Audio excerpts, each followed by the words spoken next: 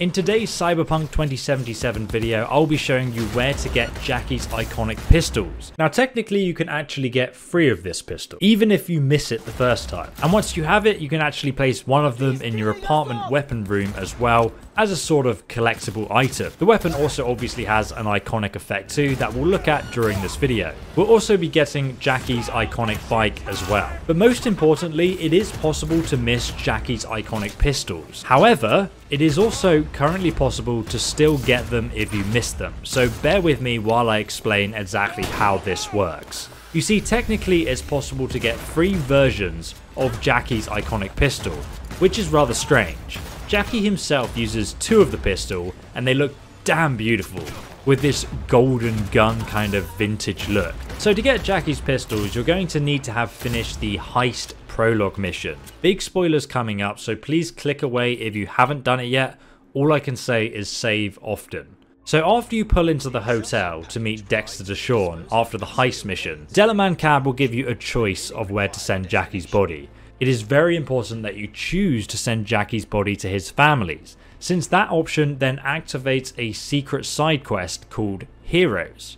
If you say the first option, just wait here for me, I believe I did this in my first playthrough and the Delamain cab ends up taking Jackie's body to his family anyway since you die so it just defaults to that choice. But the third option, to take him to Vik Vektor's clinic, you should definitely not choose, since if you do choose this option, later on, when you talk to Vik, he will tell you that Arasaka came and raided his clinic and stole Jackie's body away. This is pretty accurate since they assume Jackie still has the relic and they actually end up using Soul Killer on him and you never see Jackie again. Now if you do end up choosing Vik's clinic, don't worry, you will still be able to obtain Jackie's iconic pistol, but I'll explain how exactly in a moment. So let's say you made the correct choice and you sent Jackie to his family. After you wake up, after about 5 minutes or so, you will get a call from Mama Welles make sure that you call her back. If you haven't done so yet, just open your phone and give Mama Welles a call. She'll actually invite you along to Jackie's funeral, which takes place in Heywood. You start the game in Watson, but just in the south over here on the map you will find Heywood, still in Night City. Now in the southeast of Heywood, just over here, right near this sort of river that runs through the city, you'll find there's a bridge just here as like a reference point and a big apartment building. And then just to the southwest of that, you'll find the Coyote Bar. Now you can see the El Coyote Cojo fast travel point just here at the crossroads.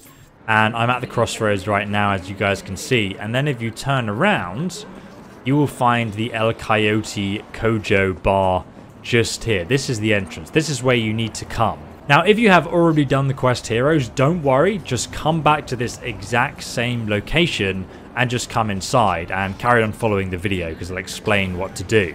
But once you do arrive, you will find Mama Welles making funeral preparations for Jackie. And then you can just go ahead and talk to her and you can finish off this quest. Which is a lovely scene where you'll say some nice words about Jackie and also look at his stuff. During the funeral, you'll also speak to her and she will offer you Jackie's bike keys make sure that you say yes. Otherwise, you cannot get Jackie's bike. Alternatively, if you sent Jackie's body to Vik's clinic, you'll instead get a call from Mama Wales and she will send you his bike keys. So Jackie's bike cannot be missed, unless you decline the offer. So after the funeral is finished, make sure you exit the bar. And then what you're going to do is just cross the road and go ahead and wait for 24 hours and then confirm. And now obviously if you miss Jackie's iconic pistols the first time, you can just come back here. What the hell? Bruh. And just come on inside and right at the back where the uh, funeral was, you will find both of these iconic pistols right next to each other. La Chingona Dorada. Sorry if I just butchered that with my dyslexic language pronunciation and another one of them. So far, you will now have two of Jackie's iconic pistols. We can upgrade them to legendary quality in just a moment to have a closer look at their stats, but right now you can see the iconic effect reduces reload time and adds an extra mod slot, higher chance to apply burn and stun.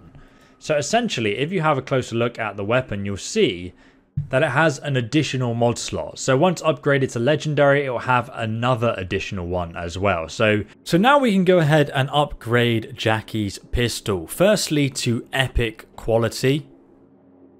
And then next we can upgrade it to legendary quality. So once we've upgraded Jackie's pistol to legendary quality, it has 300 damage per second and delivers 115 to 141 damage per attack.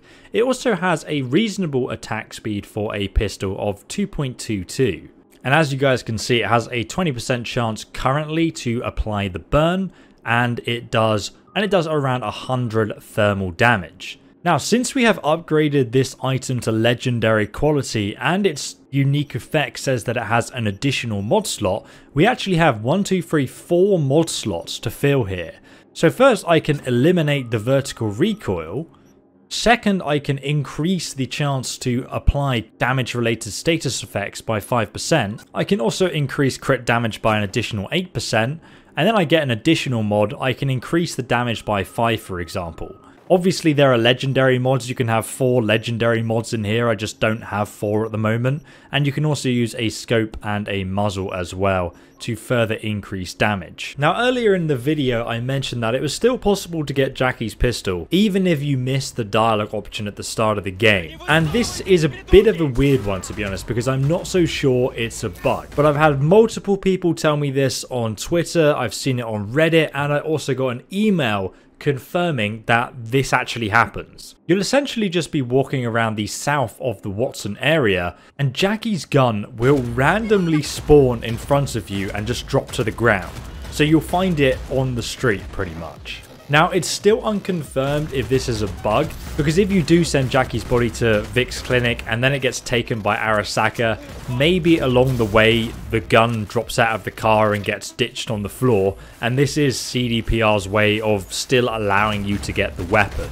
So let me know how many of you have experienced that in the comments section below, but that is the only way to get the gun, and I don't know if it's a bug or not.